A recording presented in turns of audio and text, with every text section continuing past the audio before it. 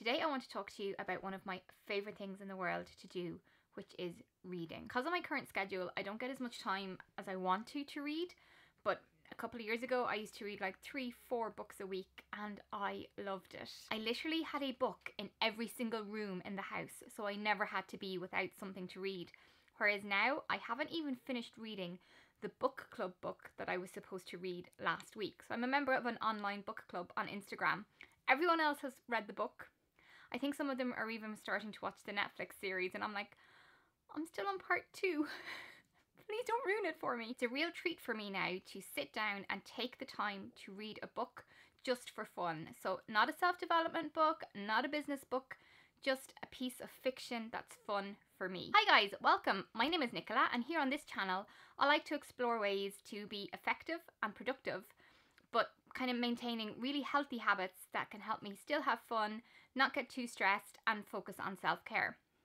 So if you'd like to join me for today's video, I highly suggest you go grab yourself a cup of tea, maybe a snack, and let's just sit down and get into it. Hang on, um, I just have to go get my tea that's better. So nowadays I don't get as much time to read as what I'd like, so I actually tend to make it into like a big deal, a ritual almost. I start off by going and picking the book that I want to read.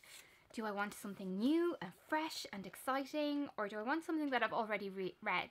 An old friend, like a comfort blanket, if you will.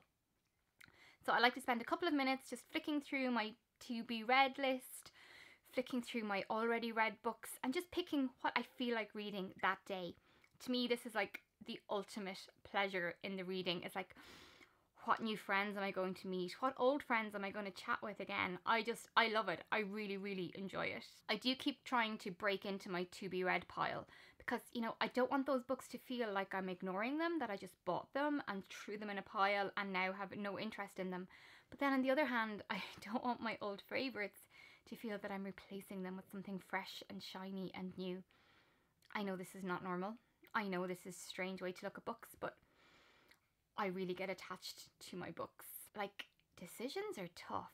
I don't like making decisions. Before Christmas, I actually subscribed to a book, sub- well, I subscribed to a book subscription service. So it's called a box of stories. And basically you pick a genre and every three months, if you subscribe, you get sent four random books from that genre, which I love. Personally, I'm a huge fan of like crime fiction and thrillers and verging right into horror, which right now it's not really what I want to be reading. I want to read something more positive. So for my first box of stories, I actually picked historical drama and I am loving it. Like loving it. They are I've got a mixture of like Greek and Roman drama. I have some Elizabethan and I have some World War II romantic drama. Oh, it's just, it's fantastic. Loving it. Highly recommend a box of stories. Once I've finally picked my book, it's time to go and sort out snacks.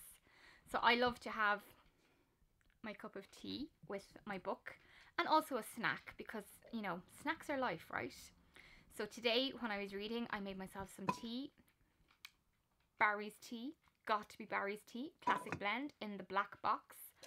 Honestly, my mother cringes every time she sees me make tea, but I like it. I drink it. It's fine. I also uh, toasted a hot cross bun. I had a Bramley apple and salted caramel hot cross bun. Oh my god. Beautiful. Beautiful. And so I have my snack made, I take that into my armchair and I just set myself up. And then because I want to be totally extra, I've also lit myself like a nice candle so that there's a nice mood. I throw on a nice playlist on Spotify. Like I go all out when I'm reading. And then I sit in my recliner which I generally share with the dog. So I have a golden retriever called Cooper. That recliner is his favourite place in the world to sit and sleep. He's actually able to recline it himself, so it's a bit of a battle when I decide to sit in it. Honestly, if it's wet and windy and raining outside and I can light the fire, I am all for it.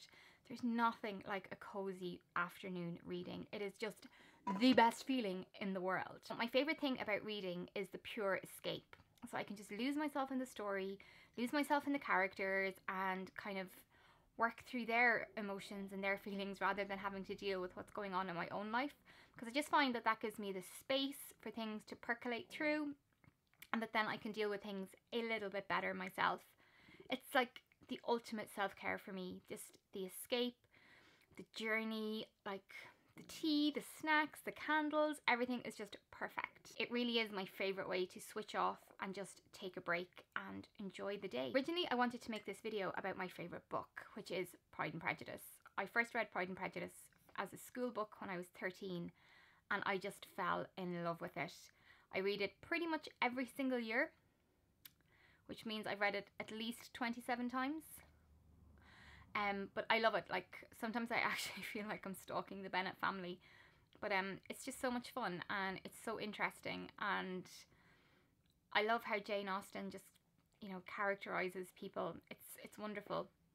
But then I realized that it's not just the book that I love; it's the act of reading, and that is my favorite part of books. Is sitting down, getting to know the characters, falling in love with them, hating them, being frantic when you're getting close to the end and you really want to finish the book, but then you're also trying to draw it out as long as you can because you don't want the book to end.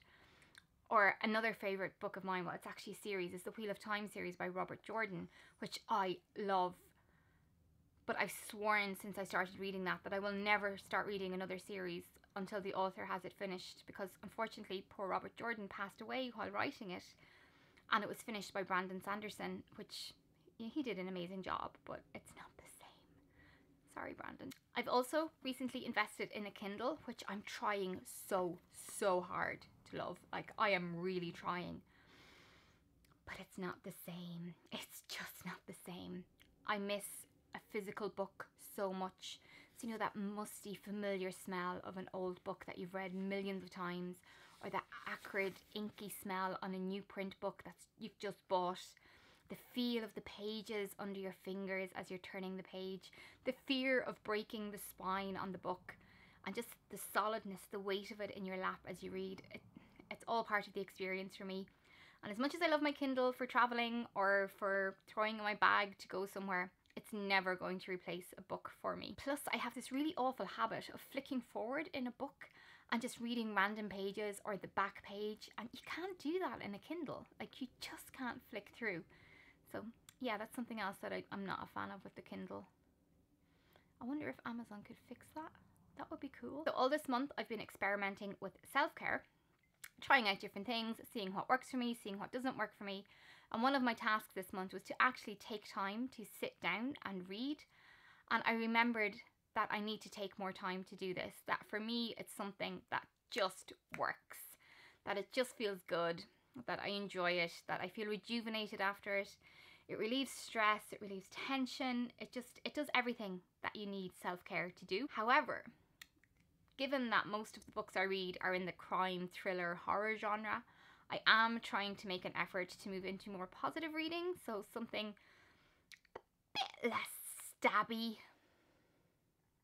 Because, you know, our content that we consume affects our mood, it affects our reality, so yeah, a little bit less stabby might be nice. Less guns, more fun. That's something I'm going to try and do this year. Thank you for joining me for today's ramblings.